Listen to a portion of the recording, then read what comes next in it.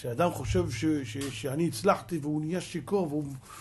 אדם עולה לו למוח, פשוט מאבד את עצמו לדעת. הוא משתגע. הוא יכול לומר מילים שהוא סותר את עצמו בהן ולחיות בסתירות. הוא אפילו לא מרגיש לרגע שהוא סותר את עצמו. הוא לא מרגיש אפילו לרגע שיש סתירה במה שהוא אמר. הוא בטוח שהוא אמר את המילים הכי חמות בעולם. כשאתה יושב מהצד ומסתכל עליו, אתה אומר, בואנה, זה האדם הכי משוגע בעולם.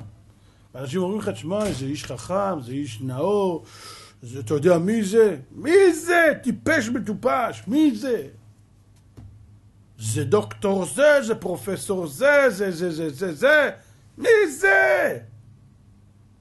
מי זה, רבותיי, אדם שלא מתגבר על התאוות שלו ולא משליט את המוח על הלב, רבותיי, האדם הזה יותר גרוע מבעלי חיים, כך כותב המסילת ישרים.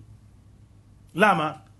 כי בעל החיים נולד בעל חיים, אז יש לו אינסטינקטים מדויקים איך לחיות, והוא לא יסטה מהם.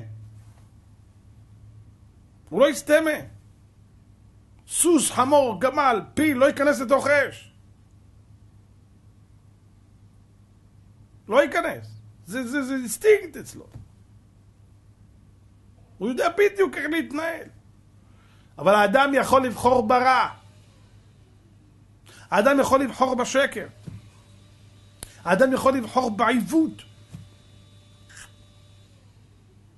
ובזה אתה הרבה יותר גרוע מבעלי חיים. יש שכל בעולם, יש חוכמה בגויים תאמין. אבל השאלה לאן מפנים את אותה חוכמה? לאן מכוונים אותה? לאן מנתבים אותה? חכמים המה להרע ולטיב לא ידעו. יש לו חוכמה, ולאן לוקח את החוכמה שלו לעשות רע? היום מיטב המוחות שבעולם, רבותיי, השקיעו איך להרוס את העולם ולא איך לבנות אותו. יש בעולם כמות פצצות שיכולה לפוצץ את הכדור הזה 700 פעם. היום משקיעים באיך להשחית, לא באיך לבנות.